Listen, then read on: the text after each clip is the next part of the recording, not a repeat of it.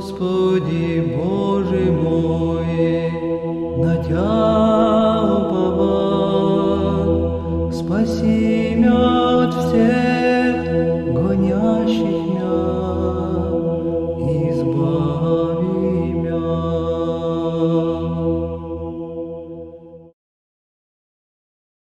Мир вам, дорогие братья и сестры! Сегодня в субботу за богослужением читается Евангелие от Луки. Это первые шесть стихов 9 главы. Послушаем это евангельское зачало на церковно-славянском языке в прочтении отца Александра.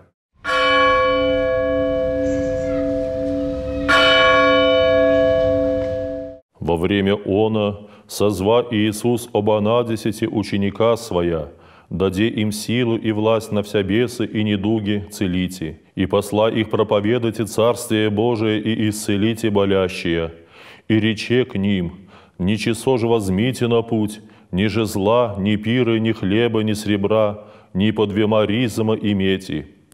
И вон же дом вы нидете, ту пребывайте, и оттуда исходите.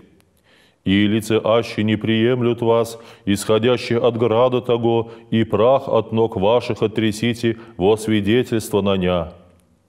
Исходящие же прохождаху сквози веси, благовествующе и исцеляюще всюду.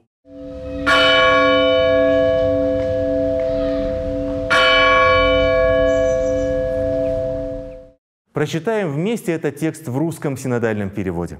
«В то время, созвав Иисус двенадцать учеников Своих, дал им силу и власть над всеми бесами и врачевать от болезней, и послал их проповедовать Царствие Божие и исцелять больных.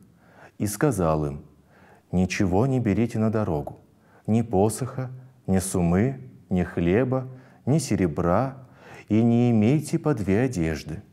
В какой дом войдете, там оставайтесь, и оттуда отправляйтесь в путь. А если где не примут вас, то, выходя из того города, отрясите и прах от ног ваших во свидетельство на них. Они пошли и проходили поселением, благовествуя и исцеляя повсюду жалея множество народа, не имеющего пастырей, и желая, чтобы как можно большее количество людей услышало благую весть, Господь посылает на проповедь своих учеников, повелевая им при этом проповедовать Царствие Божие и исцелять больных. Зная, что от апостолов будут требовать знамений как доказательств истинности их проповеди, Господь дал им силу и власть над всеми бесами и врачевать от болезней. Блаженный Феофилакт отмечает следующее. Дав ученикам власть над злыми духами, Господь не ограничил их употребление только сей власти, но повелел им и Евангелие проповедовать. То, кому вручено учительство, должен и проповедовать, и совершать чудеса.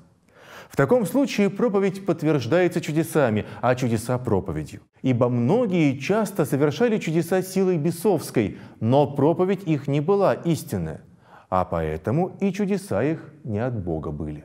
И повелел Господь ученикам, «Ничего не берите на дорогу, ни посоха, ни сумы, ни хлеба, ни серебра, и не имейте по две одежды».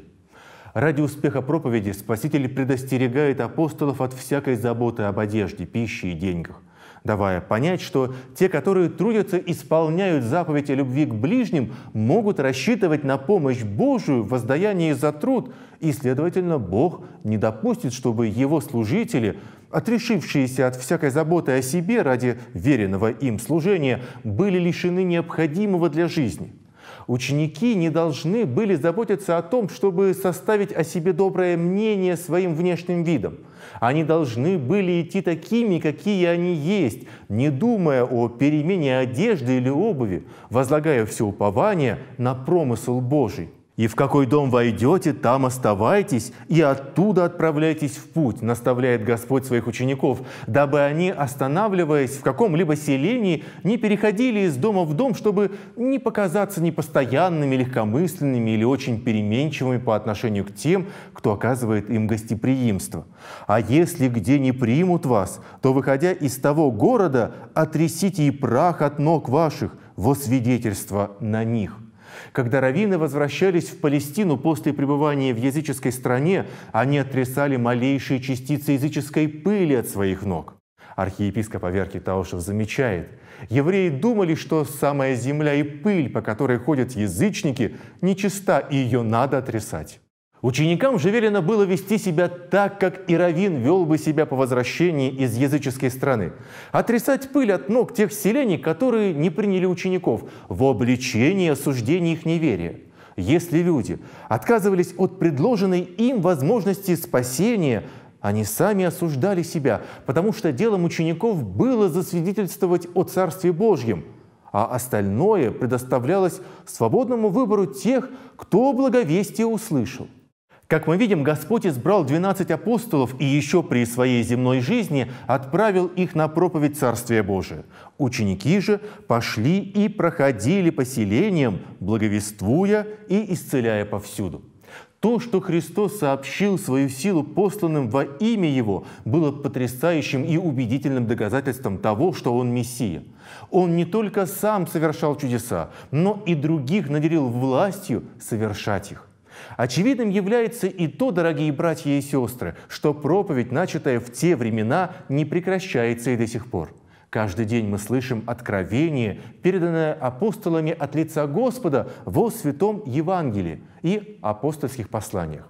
Наша же задача заключается в том, чтобы внимательно слушать и бережно хранить Слово Божие. Помогай нам в этом, Господь. Господи Боже мой, на Тя